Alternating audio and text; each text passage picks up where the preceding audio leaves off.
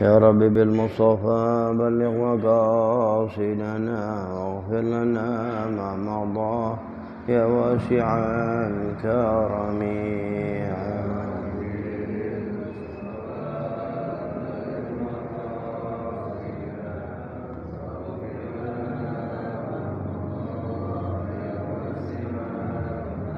هو الحبيب الذي ترجى شفاعته. لكل هول من الأهوال مقتحم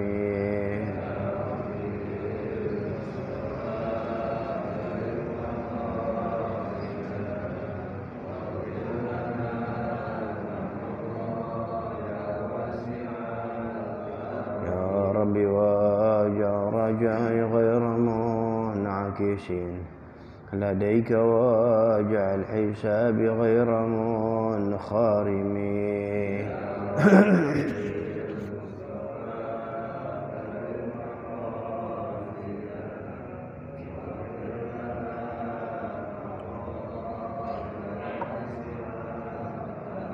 اللهم صل وسلم وبارك عليه.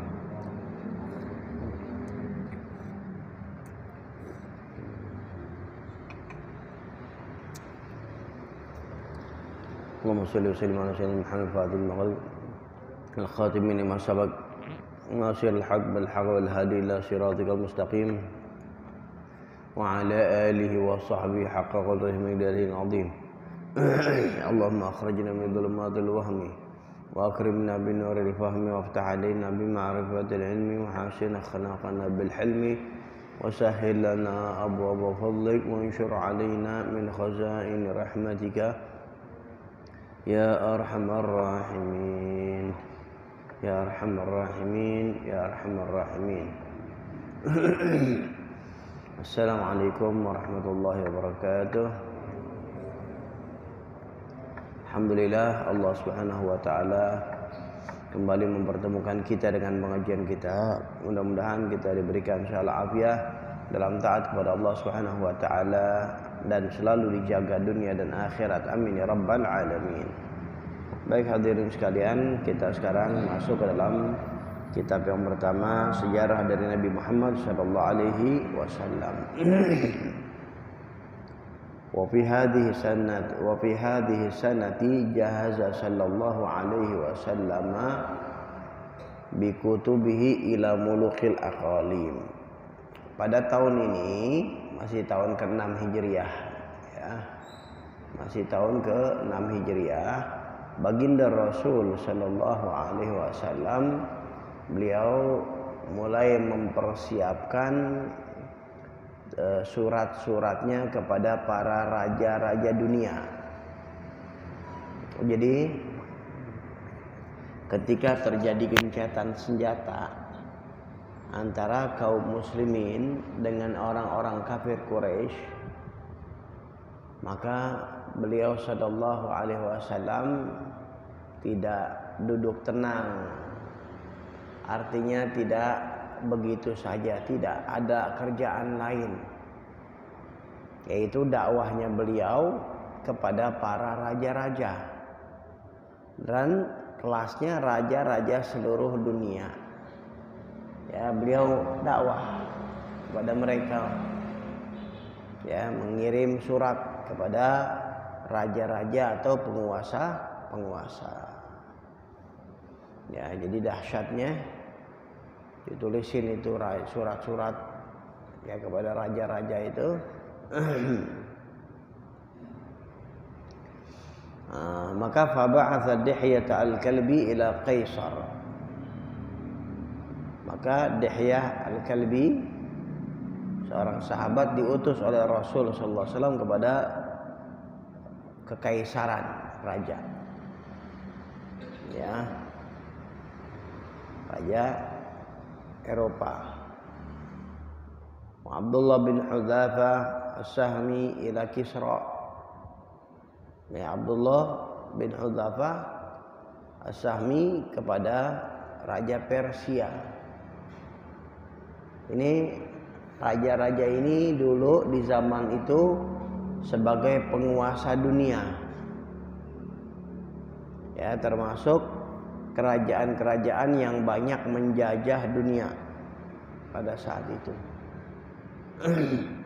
Roma, Kaisar tadi itu, Romawi, ya, dan Persia, Iran dan sekitarnya.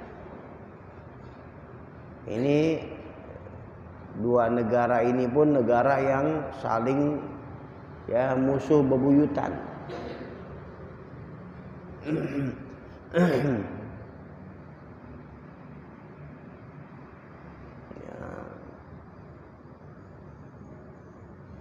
Sampai surat itu kepada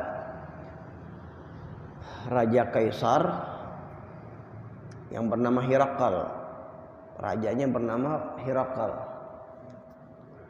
Dibaca oleh Hirakal. Kemudian Hirakal bertanya, siapa di antara kalian yang kenal panggil ditanya.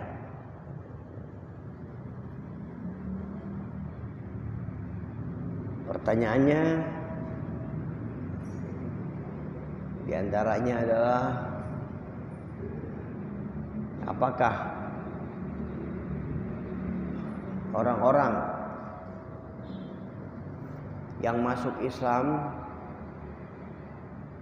kemudian akhirnya jenuh, bosan, keluar dari agamanya murtad, maka pada saat itu Abu Sufyan tidak bisa bohong. Kebenaran Abu Sufyan yang ditanya, Abu Sufyan tidak bisa berbohong, mengatakan tidak ada. Ya, Jawaban dari raja itu setelah tentunya pertanyaan-pertanyaan duluan. Jawaban dari pertanyaan ini raja itu mengatakan demikianlah keimanan apabila telah menyerap ke dalam hati. Apabila menyerap ke dalam hati keimanan begitu modelnya. Hanya lagi apakah di antara kakek-kakeknya adalah orang-orang yang pernah jadi raja? Tidak ada. Maka jawab raja itu kalau ada pantas untuk dituduh bahwa dia mencari kekuasaan kerajaan ayahnya dahulu yang hilang. Tapi kenyataannya tidak ada. Pertanyaan juga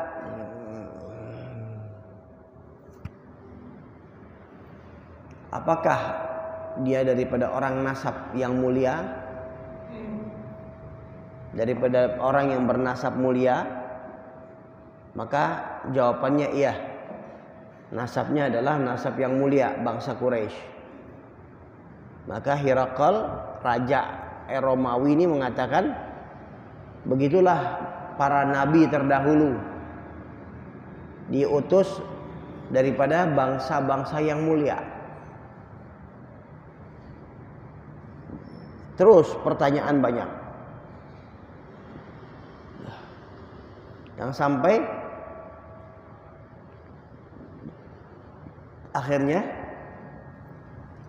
Hirakal ngebisikin, ngebilangin kepada penterjemah daripada Abu Sufyan yang mengatakan kalau benar apa yang kau ucapkan itu maka ketahuilah dia kelak. Maksudnya ini Nabi Muhammad SAW dia kelak akan memiliki dan menguasai tempat yang aku pijak ini. Tempat yang aku pijak ini artinya apa? Romawi yang adik kuasa negara kuat negara power, super power pada saat itu, itu rajanya bilang kalau ini benar sifat-sifat tadi, maka ini tanah pun daerah ini pun akan dikuas ada ada akan ada di bawah kekuasaannya. Itu rajanya tahu. Sampai akhirnya rajanya kumpulin. Gimana? Apakah kita ikut aja masuk Islam? Ikut. Ada sebagiannya marah. Sebagian daripada punggawa yang ada di situ apa penasihat-penasihatnya marah. Ya, udah akhirnya mau keluar. Ternyata pintunya ditutup. Sudah balik lagi, balik lagi, balik. Sudah, aku cuma ngetes bagaimana kekokohan kalian. Ya udah, bagus kalian kokoh ya sudah. Akhirnya nggak jadi masuk Islam. Akhirnya tidak jadi masuk Islam karena lebih berat dengan kekuasaannya. Nah, ini manusia jenisnya padahal tahu hak.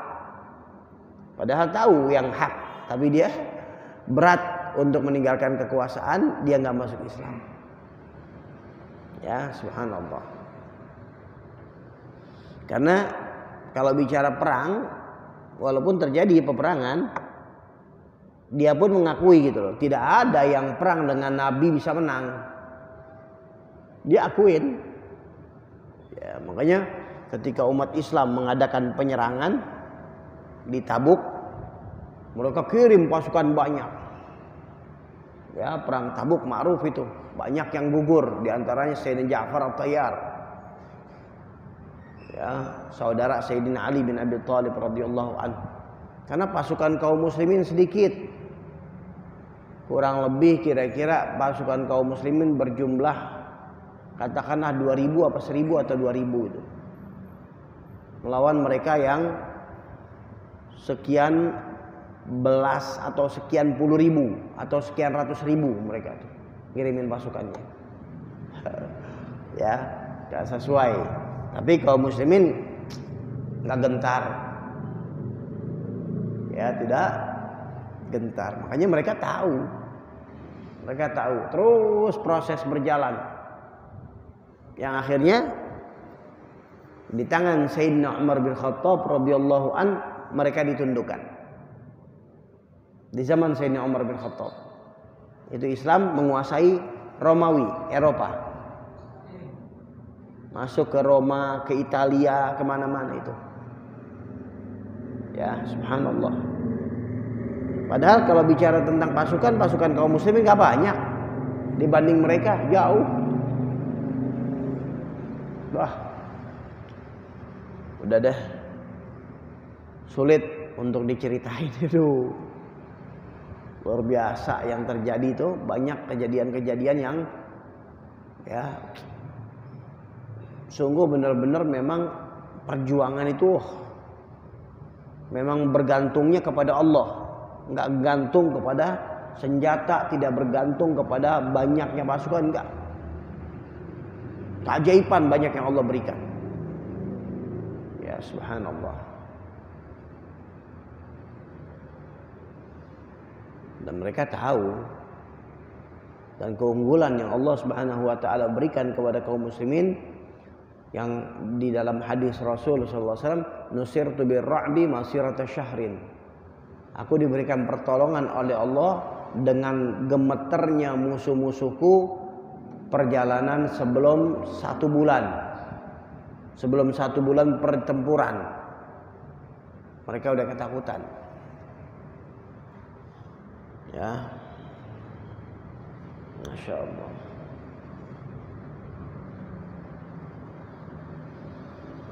Padahal pasukan mereka itu terbagi-bagi pada saat itu kaum muslimin.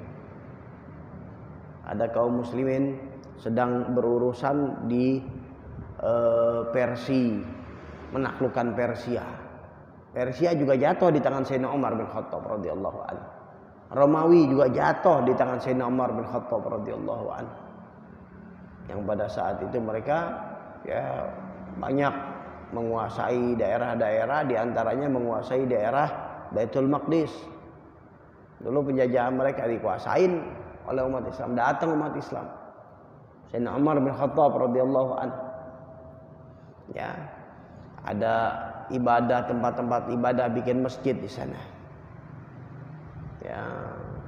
Ada gereja, enggak biarin. biarin itu ibadahnya mereka nggak diganggu nggak diganggu karena Islam ini agama damai indah ya Subhanallah nah ya kemudian juga kepada Kisro tadi sama. Kalau kepada Kisro Raja Kisro begitu dapat suratnya disobek-sobek. Maka yang utusannya dizolimin.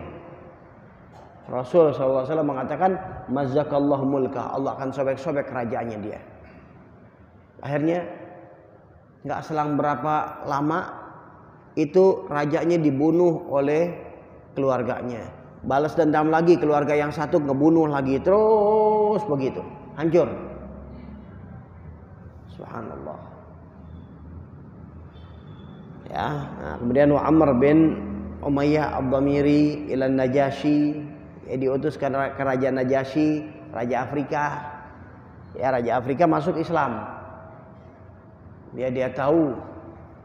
Sampai dia tulis balasan surat dan berikan hadiah balasan hadiah-hadiah begitu juga dengan surat ya bersaksi tidak ada Tuhan kecuali Allah dan engkau wahai Muhammad adalah utusan Allah Aku utus ini dengan anakku, anaknya diutus.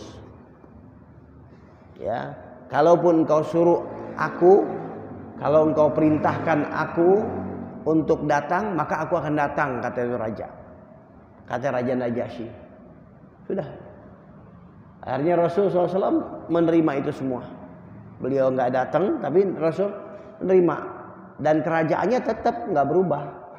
Artinya diberikan tetap kerajaan kepada rajanya itu Najasyi itu. Kali gitu kalau masuk Islam berarti dia harus turun. Enggak, tetap kerajaannya jalan. Ya, kata. Kemudian uh, Wahatib bin Abi Balta'ah ilal Muqawqas. Muqawqas di Mesir. Kirim juga Hatib ini ke Mesir. Mesir damai datang nggak ada peperangan mereka menerima senang hati ya bahkan mereka mengirim hadiah kepada Rasul Shallallahu Alaihi Wasallam ya artinya dia damai ya dia eh, nggak uh, bicara Islam tapi damai aja. Artinya dia lebih memilih perdamaian. Nggak masuk Islam nggak? Ya di awalnya belum masuk Islam belum. Tapi damai aja. Ya diterima. Diterima. Ya wa Salid bin Amr al-Amiri ila Haudzah bin Ali al-Hanafi. Begitu ya juga ya.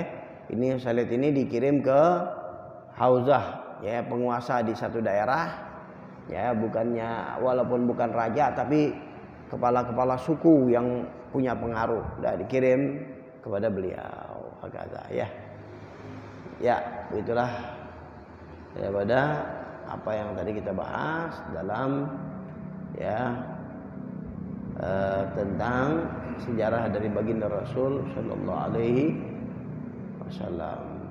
Mudah-mudahan Allah berikan ilmu kita manfaat dunia dan akhirat. Amin ya rabbal alamin.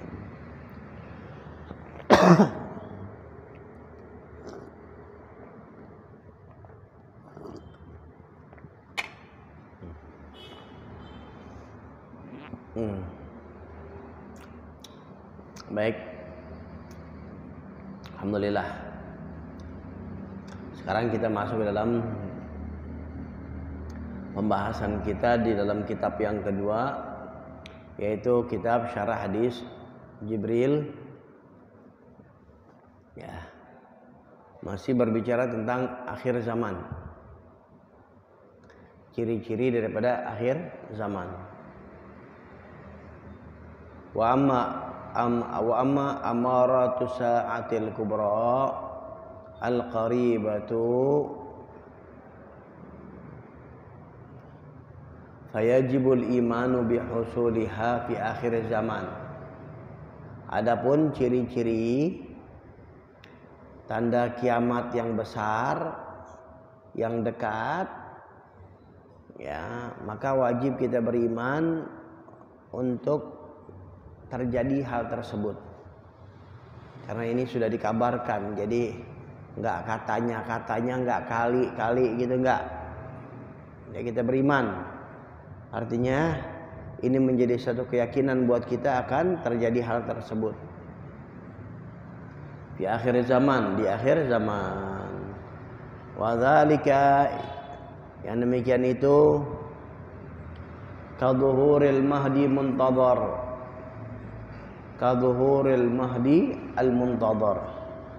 Seperti akan tampaknya, akan timbulnya Imam Mahdi al-Muntadhar yang ditunggu.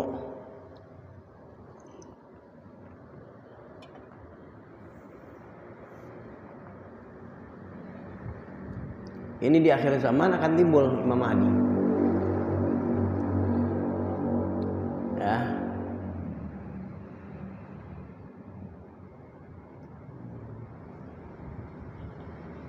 Akan timbul Imam Mahdi di akhir zaman. Ini udah menjelang kiamat, ciri-ciri kiamat yang besarnya deh nih.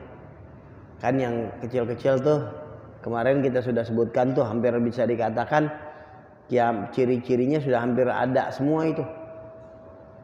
Ya ciri-ciri kiamat yang kecil. Nah ini ciri-ciri kiamat yang besar nih. Tinggal. Udah mengerikan ini kalau udah udah timbul yang besar sudah mengerikan sudah. Ya, apa di antaranya timbulnya Imam Mahdi. Imam Mahdi versi kita ahlu sunnah wal jamaah akan lahir di akhir zaman dari duriah dari keturunan baginda Rasul Sallallahu Alaihi Wasallam Sayyidina Hasan dan Sayyidina Husain ya ibu dan bapaknya ada di antara mereka ada dari Sayyidina Husain yang satu dari Sayyidina Hasan lahir Imam Mahdi. Yang mana Imam Mahdi sendiri dalam pribadi beliau di awal-awalnya nggak tahu. Artinya ya bukan orang-orang yang awalnya tahu punya kelebihan orang sudah masuk. Enggak. Biasa-biasa aja awalnya. Artinya awalnya orang-orang yang biasa. Ya namanya kayak nama beliau Muhammad. Binnya binnya kayak namanya binnya Rasulullah SAW yaitu Abdullah nah terus akan datang fitnah-fitnah besar tapi tentunya ini diawali daripada fitnah besar juga nantinya ya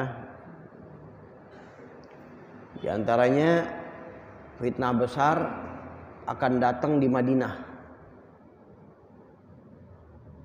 Akan datang itu fitnah besar di Madinah. Madinah banyak diserang oleh orang-orang yang tidak bertanggung jawab. Banyak dirusak.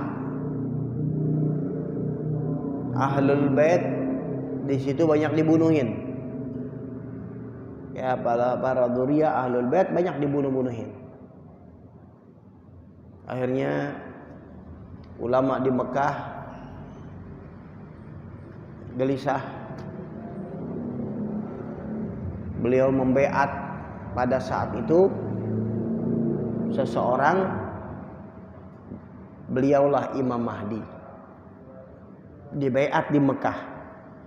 Ulama-ulama kumpul.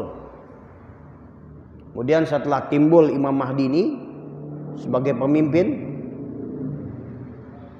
baru datang dukungan-dukungan. Ya, di Mekah itu datang dukungan besar. Langsung beliau menyelesaikan masalah di Madinah. Ya, beliau rapihkan tadi penjajah-penjajah yang datang, perusak-perusak yang datang sampai takluk di tangan Imam Mahdi. Terus lagi keliling. Keliling dunia Imam Mahdi. Sampai di satu tempat maka datanglah dukung-dukung pendukung-pendukung beliau sudah gabung. Dan sampai di satu tempat maka pendukungnya sudah gabung. Ya subhanallah. Makanya ini kita nggak tahu rahasia Allah.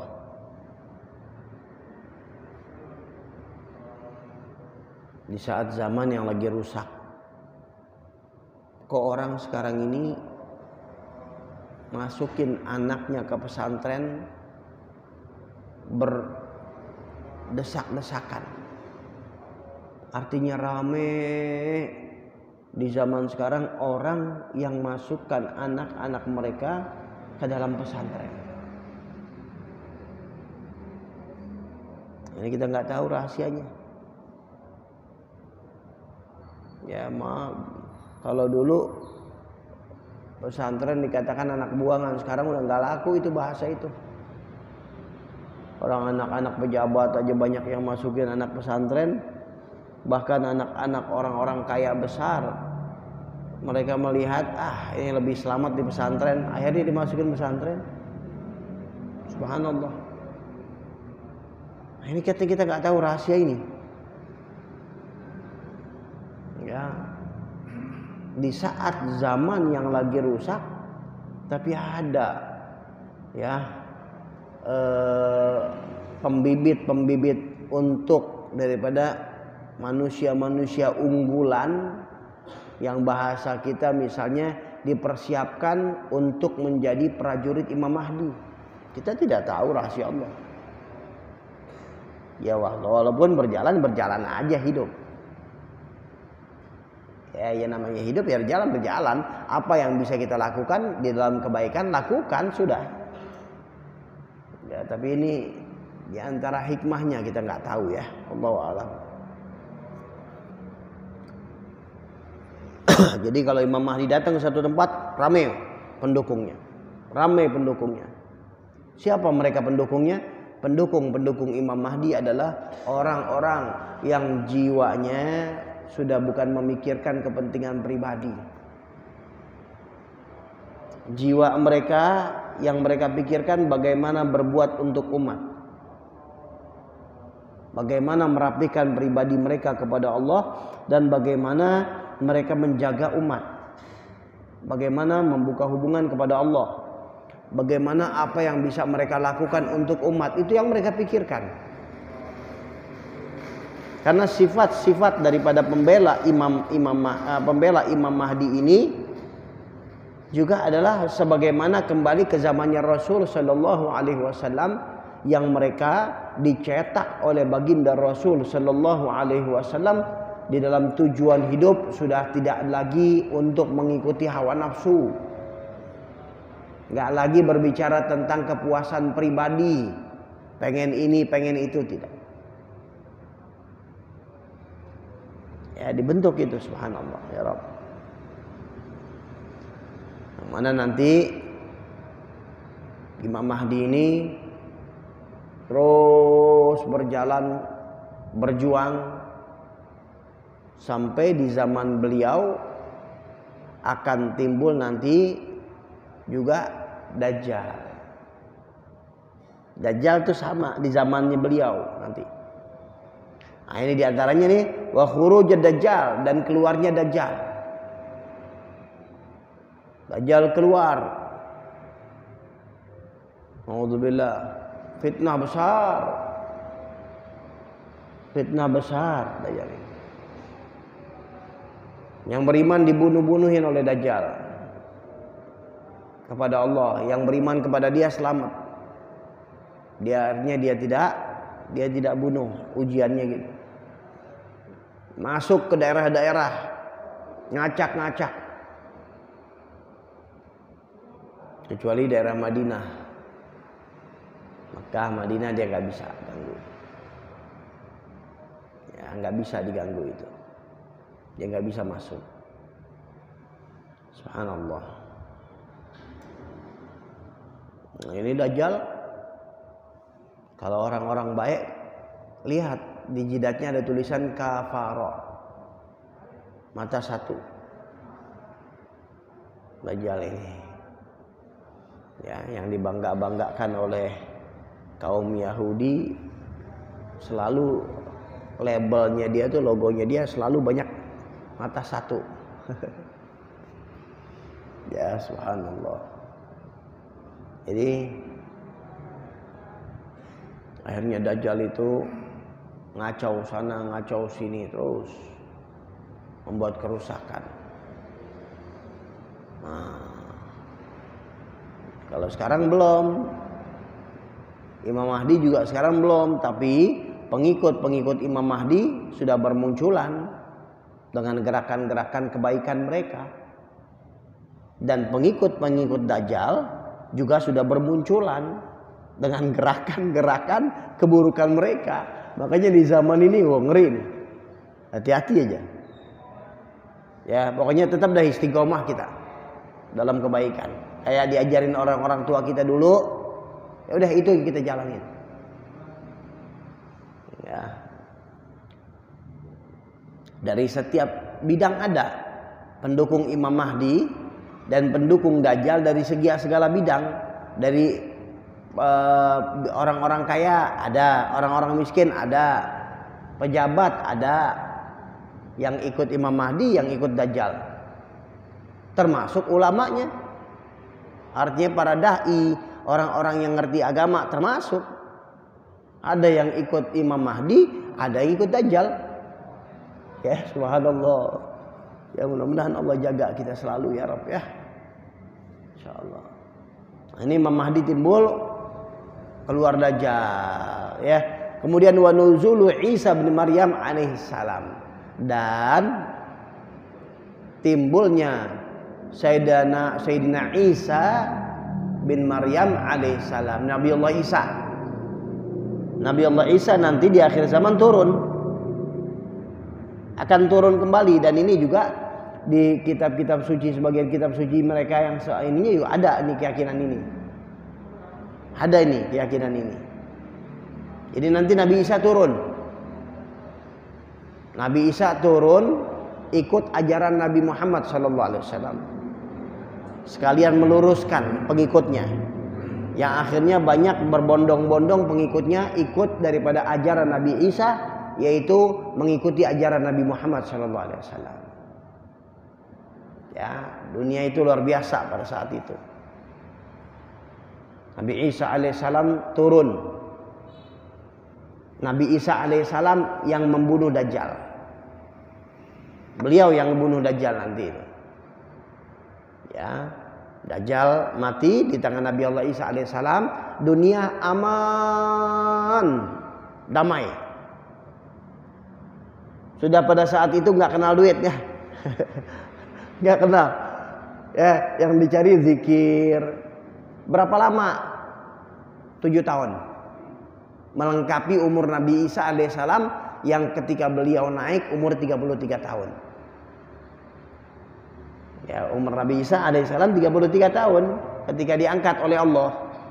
Nanti dibalikin lagi turun itu melanjutkan umur 7 tahun jadi 40 tahun. Nanti Nabi Isa akan menikah. Itu wanita untuk yang Nabi Isa pun sudah disebutkan itu siapa-siapanya. Sampai daerah yang disebutkan itu sekarang banyak menamakan anaknya itu ya dengan nama calon istri Nabi Isa alaihissalam. Ya berharap ya. Subhanallah.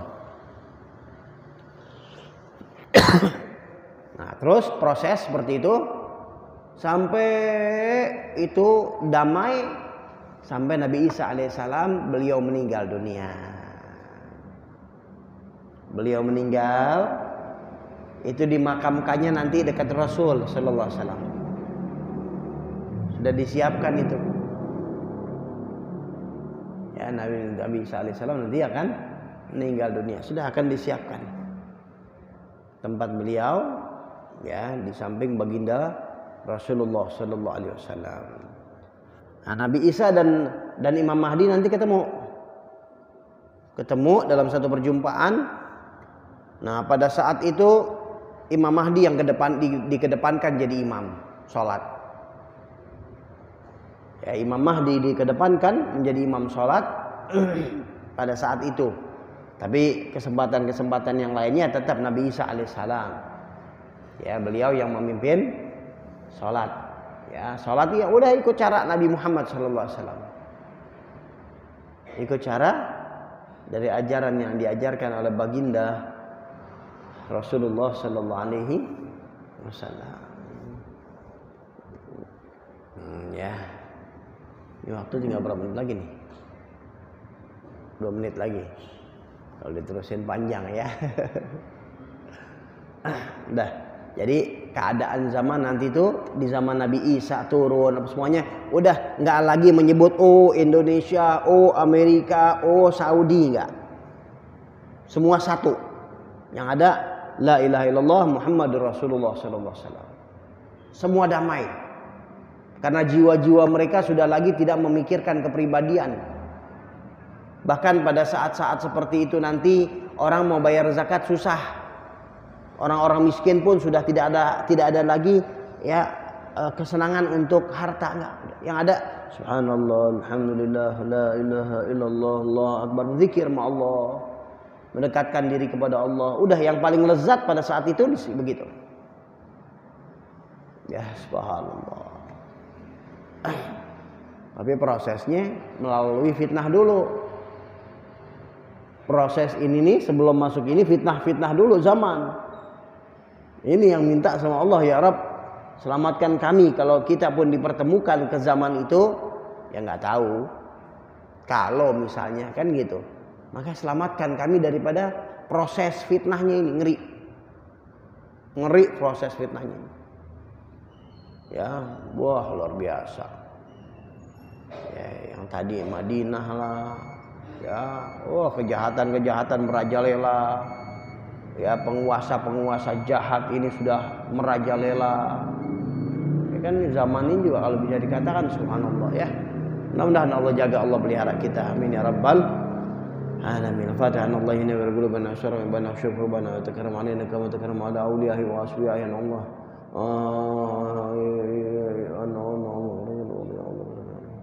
وانا من حضرنا بالفاتحه الرحمن الرحيم مالك يوم الدين وغير عليهم ولا الضالين من حق الفاتحة بشر. صلى الله على سيدنا محمد الحمد لله رب العالمين. السلام عليكم ورحمة الله وبركاته.